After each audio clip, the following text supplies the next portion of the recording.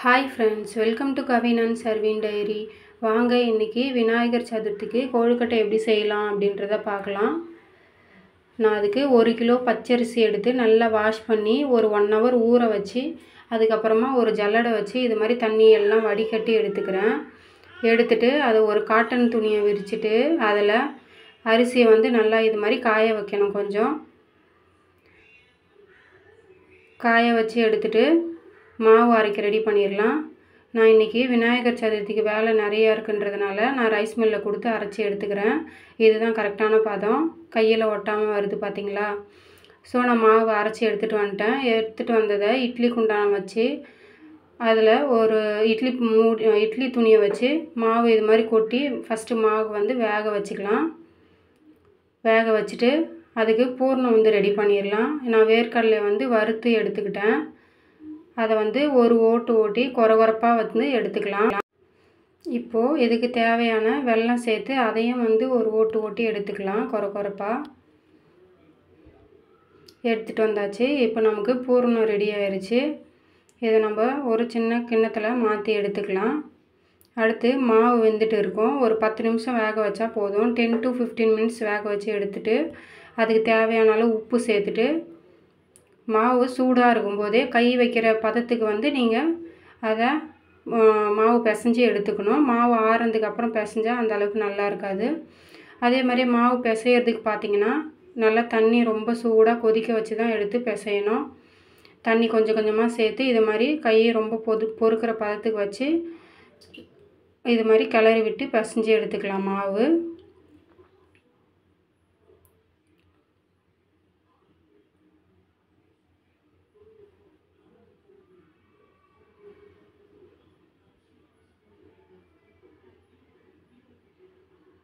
நமக்கு மாவு ரெடி ஆயிடுச்சு அடுத்து கொழுக்கட்டை செய்ய ஸ்டார்ட் பண்ணிடலாம்.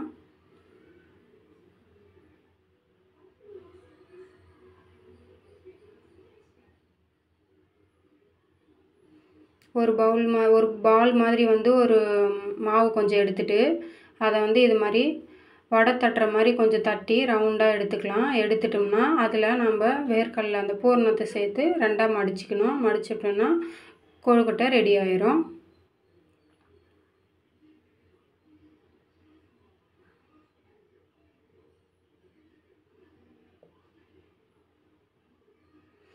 நீங்கள் ரைஸ் மில்லில் கொடுத்து அரைக்கிறத விட வீட்டில் மிக்சியில் அரைச்சி செஞ்சிங்கன்னா இன்னும் நல்லா வரும். எனக்கு நேரம் இல்லைன்றதுனால நான் ரைஸ் மில்லில் கொடுத்து அரைச்சிக்கிட்டேன். இல்லைனா வீட்டில் மிக்சியில் தான் அரைச்சி செய்வேன்.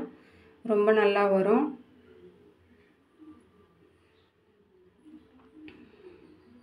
அவ்வளோதான் கொழுக்கட்டை ரெடி ஆயிடுச்சு இதே மாதிரி இருக்கிற எல்லா மாவையும் கொழுக்கட்டை செஞ்சு எடுத்துக்கலாம்.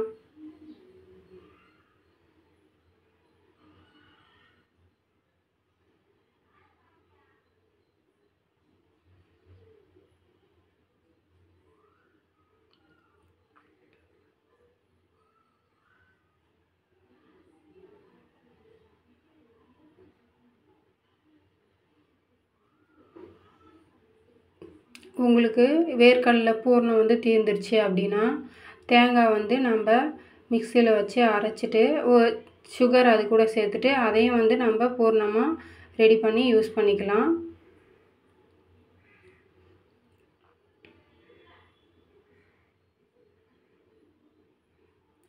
இப்போ கோழிக்கொட்டை ரெடி பண்ணியாச்சு. அடுத்து அதே இட்லி இட்லி பாத்திரத்தை வச்சு இதே மாதிரி துணியை வச்சு நம்ம கொழுக்கட்டையை ஒன்று ஒன்றா இது கூட சேர்த்துடலாம். ஆனால் நம்ம தண்ணி ஊற்றிட்டு தண்ணிலாம் கொதிக்கிறப்ப தான் நம்ம கொழுக்கட்டையை சேர்க்கணும் இதில். எடுத்து வைக்கணும்.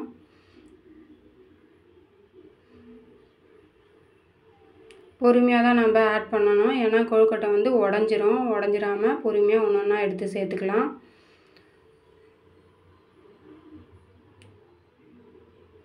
சேர்த்துட்டு டென் டு ஃபிஃப்டீன் மினிட்ஸ் வெந்துச்சுன்னா போதும். இப்போ பாருங்கள் டென் டு ஃபிஃப்டீன் மினிட்ஸ் வெந்துருச்சு. வெந்து எடுத்துட்டேன் நான். ஓப்பன் பண்ணி காமிச்சிட்டேன்.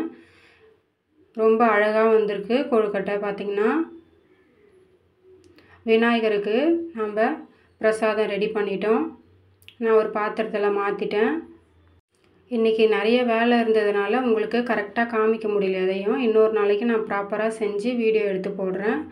எங்கள் வீட்டு விநாயகருக்கு என்ன ஸ்பெஷல்னு பார்த்தீங்கன்னா நான் என்னென்ன செஞ்சுருக்கேன்னு பார்த்தீங்கன்னா வெள்ளம் வெல்லம் போட்ட பொங்கல் சுண்டல் கொழுக்கட்டை பழம் எல்லாம் வச்சு எங்கள் வீட்டு விநாயகரை நாங்களும் படைச்சிட்டோம்.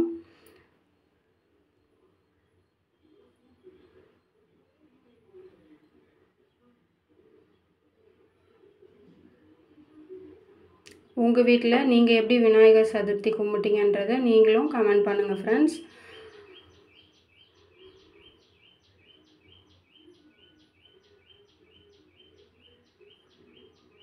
எல்லாருக்கும் happy Vinayagar Chaturthi thank you for வாட்சிங் இந்த வீடியோ பிடிச்சிருந்ததுன்னா லைக் பண்ணுங்கள் ஷேர் பண்ணுங்கள் சப்ஸ்கிரைப் பண்ணுங்கள்